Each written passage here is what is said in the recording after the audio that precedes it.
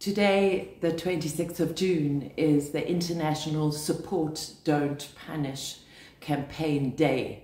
For over a decade, the Support Don't Punish campaign has resourced a global, decentralized network of change makers in drug policy reform and harm reduction to reduce stigma, end violent and neglectful policies and practices against our communities, ensure, and to ensure redress for all. Let us once more mobilize in transnational solidarity to reclaim power and rights for our communities, nurture our growing movement, and demand accountability and redress.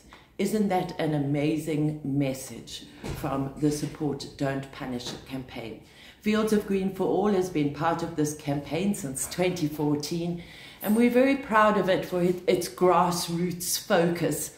And the fact that even in our ca cannabis world, which is a microcosm of the world drug policy arena, this message of support, don't punish is so very, very important.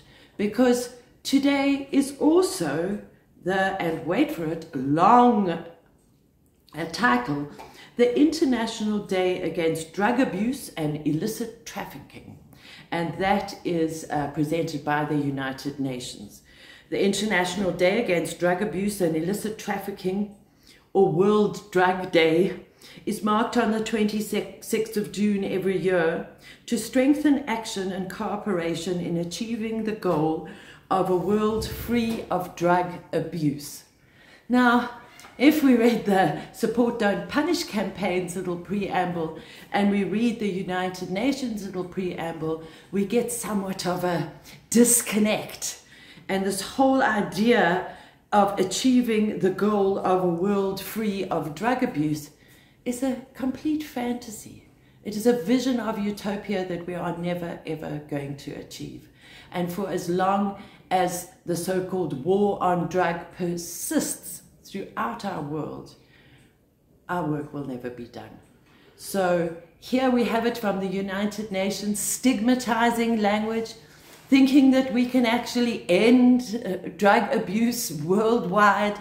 But there is hope at the United Nations because at the uh, at CND in 2024, uh, in March, on the very last day of the Commission on Narcotic Drugs, we saw the, the CND universally declare that the words harm reduction would also be included in U, UN language going further. So we hope that maybe in a year's time when we have a World Drug Day again, this sentence of achieving the, world, uh, the, the goal of a world free of drug abuse will maybe be replaced by achieving a world free of abuse against people who people who use drugs. Now coming back to our cannabis world here in South Africa, I've got a whole lot of tabs open here on my laptop. And we have to think of where we are now in this cannabis world. Having had our Cannabis for Private Purposes Act signed into law on the 28th of May 2024, where are we going now? How can we support, don't punish, our local cannabis communities? and particularly those most vulnerable amongst us. How can we support them and not punishing them by stopping the cops? How come we are still getting uh, reports of busts and with a street value of millions and millions of rand and drug manufacturing equipment um, confiscated when all it was was equipment in order to make concentrates, probably in order to make cannabis medicine.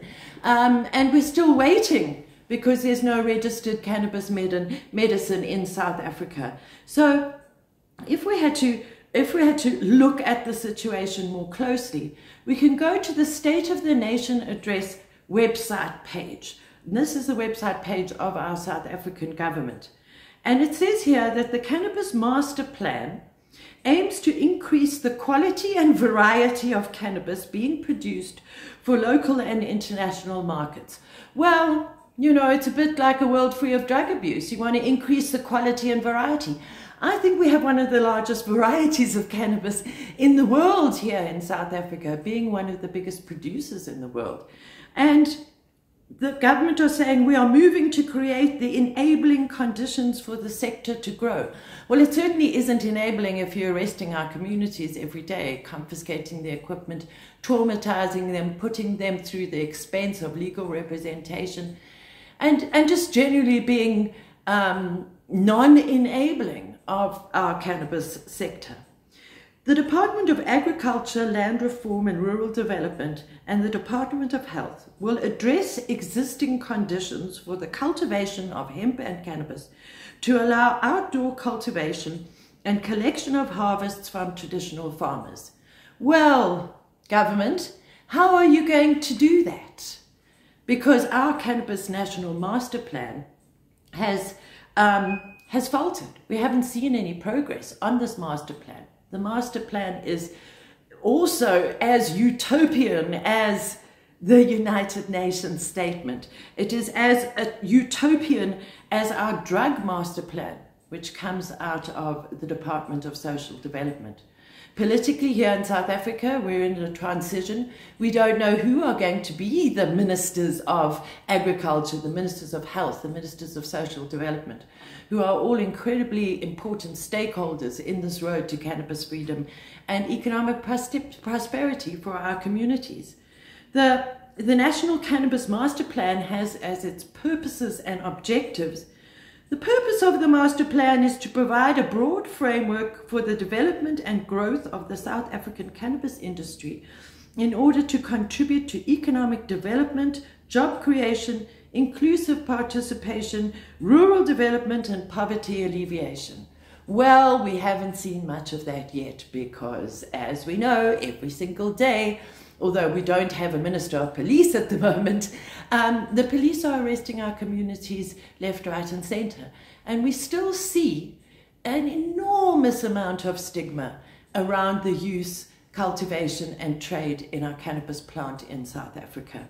And if we look at the drug master plan, which is more of an um, umbrella plan, we can see here that they said Currently, the relevant department, as outlined in the ruling, that meant the Constitutional Court ruling, are in the process of aligning specific sections on the cited legislations to comply with the ruling and to make sure there is no ambiguity in the possession and private use of cannabis.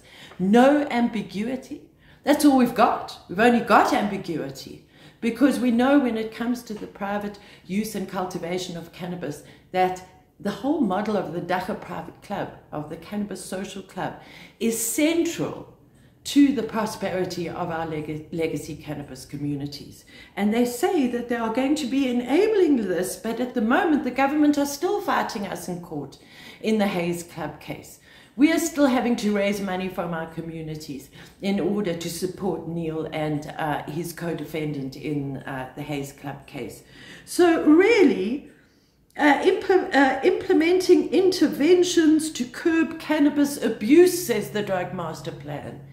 Well, you know, when it comes to harm reduction, it isn't only about cannabis abuse. It isn't only about the children, because harm reduction is not necessarily about the children. The children have been taken care of, for sure. Our new Cannabis for Private Purposes Act has a whole big paragraph about the children and how they're going to be protected. The Center for Child Law achieved a constitutional precedent um, uh, prohibiting the criminalization of, of children in South Africa. So we are much further along the road when it comes to children and cannabis than we are with adults and cannabis. The harm reduction is really the subject for another video. It is a huge topic, it is quite complicated, but it is the one area that our cannabis community can really help. As we've always said, there are two sides to this cannabis struggle in South Africa. There is changing the law and there is changing hearts and minds. When you are sitting at Sunday lunch with your family and the subject of cannabis comes up and people start to giggle and people start to, oh no, we don't want to talk about that, stand up, stand up for our favorite plant. Reduce the stigma.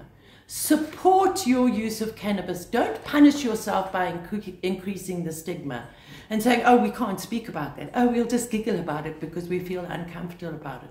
because as cannabis users, we need to identify as drug users in order to tackle this problem of stigma. And we rely on each and every one of, of you in South Africa, in Africa, and around the world to work together in small little ways that will add up to reducing the stigma.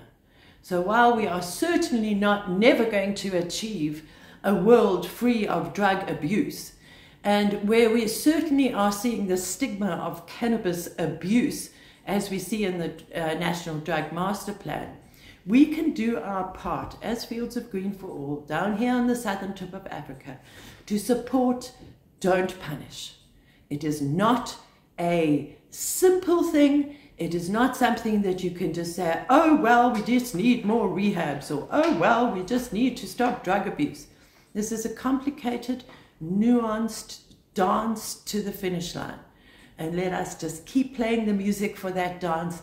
And we'd like to thank you, everybody, for supporting Fields of Green for All, for supporting this campaign over the years, over a decade it's been running, and for supporting our work at the United Nations to change that stigmatizing language.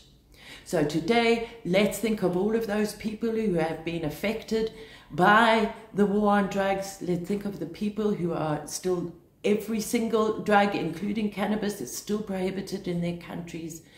Let's just take a moment to remember how far we've come and how far we still have to go.